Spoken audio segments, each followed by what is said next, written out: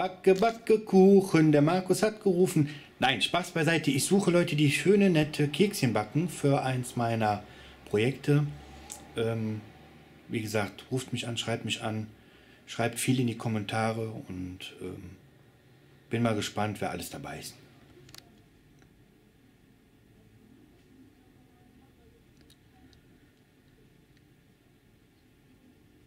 Oh.